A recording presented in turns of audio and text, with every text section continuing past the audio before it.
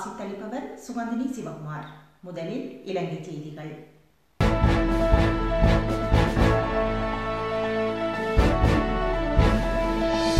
இரண்டாயிரத்தி ஒன்பது ஜனவரியில் அரசாங்கம் அறிவித்த யுத்த நிறுத்தத்தினால் முன்னூறு படையினர் கொல்லப்பட்டனர். சரத் பொன்செகா அறிவிப்பு.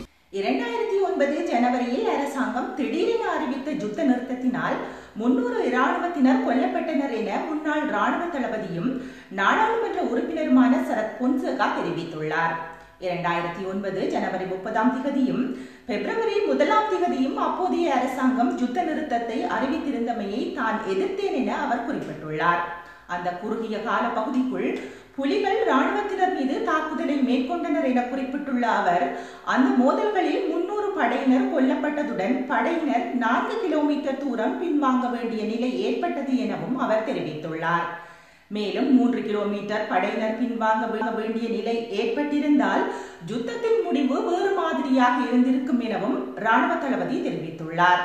சிவில் பாதுகாப்பு திணைக்களத்தின் பணிப்பாளர் நாயகமாக சரத் வீரசேகராவை நியமிக்குமாறு பாதுகாப்பு செயலாளராக பணியாற்றிய கோத்தபாய ராஜபக்சவை தானே கேட்டுக்கொண்டதாகவும் சரத் பொன்சேகா தெரிவித்துள்ளார். அவர் வேலையில்லாமல் இருந்ததால் இந்த வேண்டுகோளை விடுத்தேன் எனவும் பொன்சேகா குறிப்பிட்டுள்ளார். கடுமையான அழிவை சந்தித்துள்ள நெடுந்தீவு. அசாதாரண சூழ்நிலையால் நெடுந்தீவில் படகு பயணங்கள் நிறுத்தப்பட்டுள்ளதாக நெடுந்தீவு மீனவ கூட்டுறவு சங்கங்களின் சமாச தலைவர் பத்மதாசன் லீலியான் குரூஸ் தெரிவித்துள்ளார். தொடரும் மழை மீனவ படகுகள் பல சேதம் கரையோரங்கள் கடுமையான அரிப்புக்கு உள்ளாகியதால் மீனவர்களின் படகுகள் கரைகளில் உள்ள கற்பாறைகளுடன் மோதுண்டு பல படகுகள் மிக கடுமையான சேதங்களை சந்தித்துள்ளது. படகுகளை பாதுகாப்பாக கட்டுவதற்கு பாதுகாப்பு அணை இல்லாமல் இம்மீனவர்களது வாழ்வாதார முதலீடுகள் அளிக்கப்பட்டுள்ளது. கடந்த புரவி சூறாவளியினால் நெடுந்தீவு ஒன்று தொடக்கம் ஆறு வரையான கிராம சேவகர் பிரிவுகளிலும் நூற்றி பன்னிரண்டு மீனவ குடும்பங்களின் படகுகள் இயந்திரம் தெப்பம் வலை என்பன அழிவடைந்து பல லட்சம் அழிவை சந்தித்துள்ளனர்.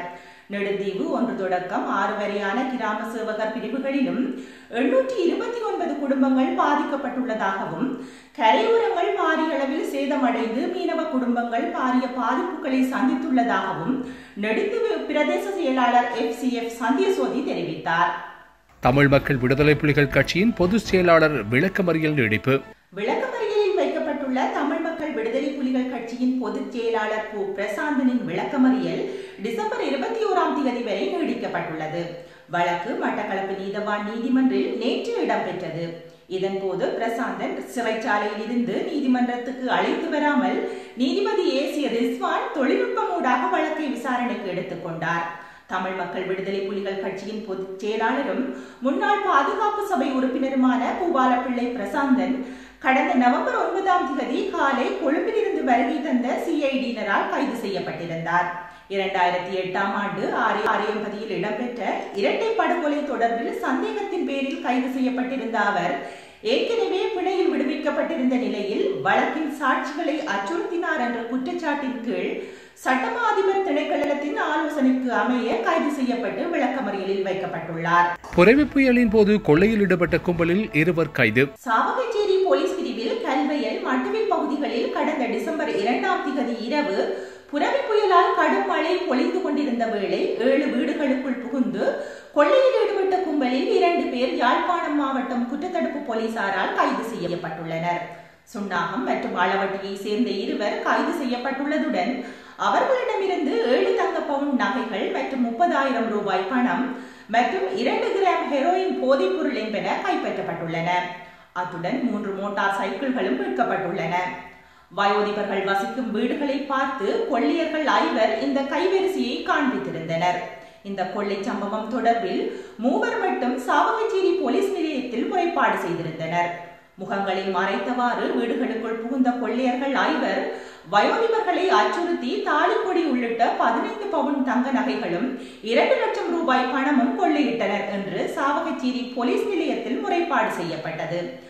சம்பவம் தொடர்பில் யாழ்ப்பாண பிராந்திய மூத்த போலீஸ் அத்தியட்சகரின் கீழான பிரதான போலீஸ் பரிசோதகர் நிகால் பிரான்சிஸ் தலைமையிலான மாவட்ட குற்றத்தடுப்பு போலீசார் விசாரணைகளை முன்னெடுத்திருந்தனர். ஈழத்தை கேட்கவில்லை. கொரோனாவால் உயிரிழக்க முஸ்லிம்களை அடக்கம் செய்யவே கேட்கிறோம். இஷாக் ரஹ்மான் வேண்டுகோள். கொரோனா வைரஸ் தொற்றால் மரணிப்போரை உலகில் உள்ள நூற்றி தொண்ணூற்றி ஏழு நாடுகள் அடக்கம் செய்யும் போது இலங்கையில் மாத்திரம் அந்த நடைமுறை ஏன் பின்பற்றப்படுவதில்லை என கேள்வி எழுப்பிய இசாக் ரஹ்மான் எம்பி முஸ்லிம்கள் ஈழத்தை கேட்கவில்லை. கொரோனாவால் உயிரிழக்கும் முஸ்லிம்களை அடக்கம் செய்ய வேண்டுமென்றே கேட்கின்றார்கள் என தெரிவித்துள்ளார். இதனால் சுற்றுச்சூழலுக்கு எந்த விதமான பாதிப்புகளும் ஏற்படாது என சுற்றாடல் வன தீவிராசிகள் வன பாதுகாப்பு அமைச்சின் குழுநிலை விவாதத்தில் கலந்து கொண்டு உரையாற்றும் போதே அவர் மேற்கண்டவாறு தெரிவித்தார். மேலும் முஸ்லிம்கள் ஒருபோதும் நாட்டை பிரித்து கேட்கவில்லை. நாட்டுக்கு பாதிப்பு ஏற்படுத்தியது இல்லை. நாட்டின் அமைதிக்கும் பாதிப்பு ஏற்படுத்தியதில்லை. எனினும் முஸ்லிம்களின் பெயரை பயன்படுத்தி சிலர் நாட்டுக்கு பாதிப்பை ஏற்படுத்தினார்கள். கொரோனா வைரஸால் உயிரிழக்கும் முஸ்லிம்களின் உடலை அடக்கம் செய்வதால் யாருக்கும் எந்த விதமான பாதிப்புகளும் ஏற்படாது என தொற்றுநோய் விசேட நிபுணர் நிகால் அபேசிங்க கூறியுள்ளார். முஸ்லிம்கள் தங்களது மத சம்பிரதாயங்களின்படி உயிரிழப்போரை அடக்கம் செய்வதே வழக்கமாக இருக்கின்றது.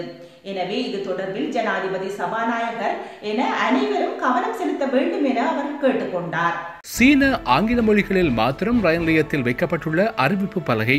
நீண்ட தூர ரயில் சேவைகளின் விவரங்களை அறிவிக்கும் அறிவிப்பு பலகை மோட்டரின் மற்றும் ஆங்கில மொழிகளில் குறிக்கும் வகையில் அமைந்துள்ள நிலையில் அதில் தமிழ் மற்றும் சிங்கள மொழிகள் புறக்கணிக்கப்பட்டுள்ளது. தற்போது இந்த அறிவிப்பு பலகையின் படங்கள் சமூக ஊடகங்களில் வெளியாகி சர்ச்சையை ஏற்படுத்தியுள்ள நிலையில் ரயில்வே பொது முகாமையாளராக கடமைகளை பொறுப்பேற்க முன்னரே இது நிறுவப்பட்டுள்ளதாக திலந்தா பெர்னாண்டோ குறிப்பிட்டுள்ளார்.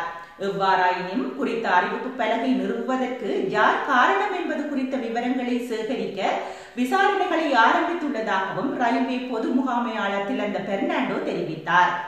செய்திகளில் தொடர்வது இந்திய செய்திகள்.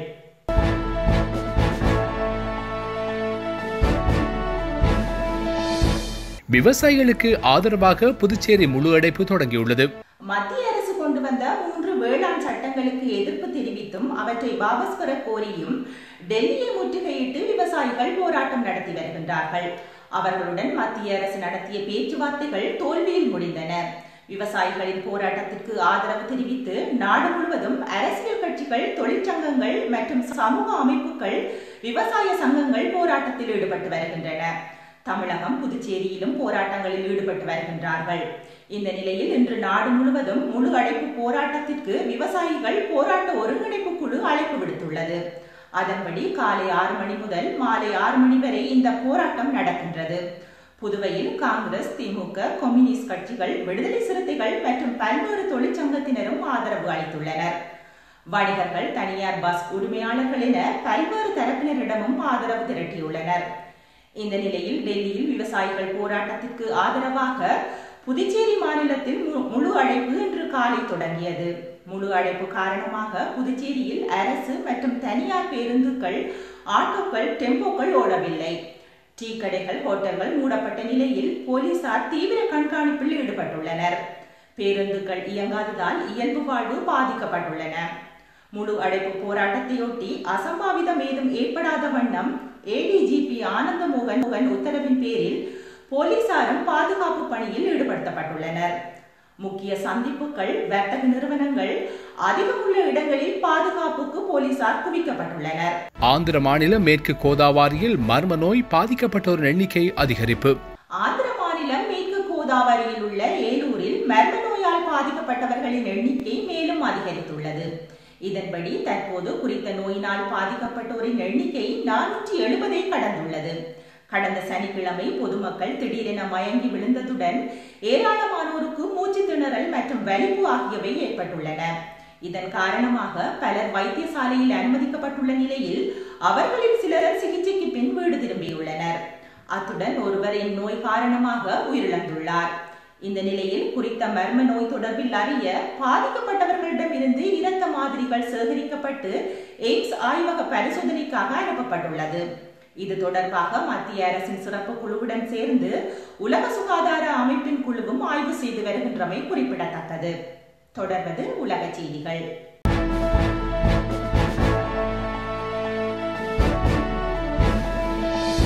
கோவிட் நைன்டீன் தடுப்பூசி தயாரித்து சந்தையிடுவதில் முனைப்பு காட்டும் சீனா.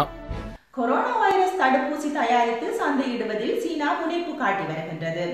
அந்த வகையில் தற்போது அங்கு நான்கு நிறுவனங்கள் சார்பில் ஐந்து தடுப்பூசிகள் உருவாக்கப்பட்டு அவை ரஷ்யா எகிப்து மெக்சிகோ உட்பட பன்னிரண்டுக்கும் மேற்பட்ட நாடுகளில் பரிசோதிக்கப்படுகின்றன. இந்த தடுப்பூசிகளை விரைவில் வெளியிட நிறுவனங்கள் தயாராகி வருகின்றன. மாகாண அரசாங்கங்கள் தடுப்பூசிகளுக்காக முன்பதிவுகளை பெற்று வருகின்றன. கொரோனா வைரஸ் தொற்று தோன்றிய சீனாவில் தற்போது தொற்று பரவல் தொண்ணூற்றி ஐந்து சதவீதம் கட்டுப்படுத்தப்பட்டுள்ளது. இறுதி ஒப்புதல் இல்லாமல் கூட சீனாவில் ஒரு மில்லியனுக்கும் அதிகமான சுகாதார பணியாளர்கள் மற்றும் பிறருக்கு தொற்றும் அதிக ஆபத்து இருப்பதாக கருதப்படும் மற்றவர்கள் அவசரகால பயன்பாட்டு அனுமதியின் கீழ் பரிசோதனை தடுப்பூசிகளை பெற்றுள்ளனர். டெவலப்பர்கள் தங்கள் தடுப்பூசிகள் எவ்வளவு பயனுள்ளவை மற்றும் சாத்தியமான பக்க விளைவுகளை இன்னும் வெளியிடவில்லை. ஞாயிற்றுக்கிழமை சீனா நிறுவனமான சினோவோக் தடுப்பூசியின் ஒன்று தசம் இரண்டு மில்லியன் டோஸ் இந்தோனேசியாவுக்கு வந்ததாக அரசாங்கம் தெரிவித்துள்ளது. சீனாவுக்குள் இதுவரை ஒரே ஒரு டெவலப்பர் சினோஃபார்ம் என அழைக்கப்படும் சீனா தேசிய மருந்து குழு நவம்பர் மாதம் தனது தடுப்பூசியை பயன்படுத்துவதற்கான இறுதி சந்தை ஒப்புதலுக்கு விண்ணப்பித்ததாக கூறியது. இங்கிலாந்தில் முதல் முறையாக தடுப்பூசியை பெற்றுக்கொண்ட மார்குரெட் கீனன். அமெரிக்காவை சேர்ந்த பைசர் நிறுவனம் ஜெர்மனியைச் சேர்ந்த பயோடெக் நிறுவனத்துடன் இணைந்து உருவாக்கியுள்ள இந்த கொரோனா தடுப்பூசி இங்கிலாந்தில் முதன்முறையாக பயன்பாட்டிற்கு வந்துள்ளது. உலக சுகாதார நிறுவனத்தின் ஒப்புதலுடன் உலகிலேயே முதல் முறையாக பிரிட்டனில் முதல் கொரோனா தடுப்பூசி அடுத்த வாரம் தொண்ணூற்றி ஒரு வயதை எட்டவுள்ள மார்க்ரெட் கீனனுக்கு வழங்கப்பட்டுள்ளது. வெகுஜன தடுப்பூசி திட்டத்தின் ஒரு பகுதியாக இங்கிலாந்து முழுவதும் தொடங்கப்பட்ட கோவிட் ஜப் வழங்கப்பட்ட முதல் நபராக அவர் விளங்குகின்றார். தடுப்பூசியை பெற்றுக்கொண்ட மார்க்ரெட் கீனன் இது தன்னுடைய பிறந்த நாளுக்கான முன்பரிசு என தெரிவித்துள்ளார். அவசரகால பயன்பாட்டிற்காக பிரிட்டன் அரசு எட்டு லட்சம் தடுப்பூசிகளை கொள்முதல் செய்துள்ளதுடன் இன்று சோதனை முயற்சியாக மார்க்ரெட் கீனன் என்ற தொண்ணூற்றி ஒரு வயதுடைய மூதாட்டி ஒருவருக்கு கொரோனா தடுப்பூசி செலுத்தப்பட்டமையை தொடர்ந்து இங்கிலாந்தில் உள்ள மையங்கள் எண்பது வயதுக்கு மேற்பட்டவர்களுக்கும் சில சுகாதார மற்றும் பராமரிப்பு ஊழியர்களுக்கும் தடுப்பூசி போடும் என எதிர்பார்க்கப்படுகின்றது. இன்று செவ்வாய்க்கிழமை வி நாள் அதாவது வெற்றி நாள் என பெயரிடப்பட்டுள்ளதுடன் முதல் தடுப்பூசிகள் நடைபெறுவதைக் கண்டு மகிழ்ச்சி அடைவதாக சுகாதார செயலாளர் மேட் ஹேன்ஹாக் கூறினார். ஆனால் அடுத்த சில மாதங்களுக்கு சட்ட விதிமுறைகளை கடைபிடிக்குமாறு மக்களை வலியுறுத்தினார். தடுப்பூசி போடுவது உங்களுக்கு நல்லது முழு நாட்டிற்கும் நல்லது என பிரதமர் போரிஸ் ஜோன்சன் தெரிவித்துள்ளார். இத்துடன் மெய்வெளியின் செய்திகள் நிறைவு பெற்றன. தொடர்ந்தும் மெய்வெளி நிகழ்ச்சிகளோடு இணைந்திருங்கள். நன்றி வணக்கம்.